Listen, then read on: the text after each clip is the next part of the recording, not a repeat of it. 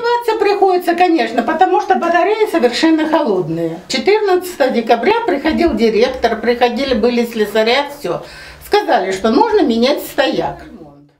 Эмма Вяткина говорит, что в ее кухне настолько холодно, что приходится включать обогреватель. У женщины слабое здоровье, она очень страдает в такой обстановке. Обиднее всего то, что проблему можно легко устранить. Сотрудники управляющей компании «Жилхоз» сказали, что ремонт займет пару дней, и отопление заработает в полную силу. Однако, чтобы заменить стояк, слесари должны попасть в каждую из квартир, расположенных одна над другой, с первого этажа по девятый. Все собственники согласны впустить рабочих, кроме одной из соседок. Не пускает 45-я квартира, где живет Киселева Нина Ивановна, она отказалась менять стояк, сказала, вот ежели я надумаю летом ремонт делать, тогда поменяю. А так меня все устраивает. Так как она здесь не живет, конечно, ее все устраивает. Ну ладно, я еще старая там женщина, еще пере... укутаюсь то другое. На сороковой квартире там двое маленьких детей. Им же тоже холодно.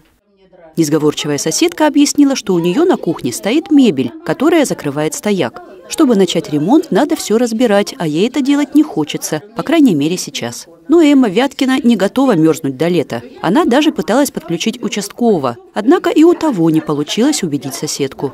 Директор управляющей компании «Жилхоз» Юрий Иванюк рассказал, что тоже в курсе проблемы и готов хоть сейчас все исправить.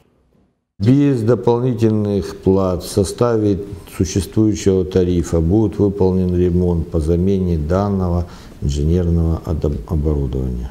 Мы готовы выполнить, жители не готовы предоставить место для выполнения работ. Юрий Иванюк сказал, что пытался уговорить хозяйку 45-й квартиры дать согласие на ремонт, но безрезультатно. При этом он подчеркнул, что закрывать коммуникации мебелью запрещено по закону, как и препятствовать их обслуживанию. Собственники жилых помещений законодательно обязаны допускать э, управляющую компанию для выполнения работ в местах общего пользования. Стояк отопления является местом общего пользования всех жителей данного дома, является общей собственностью.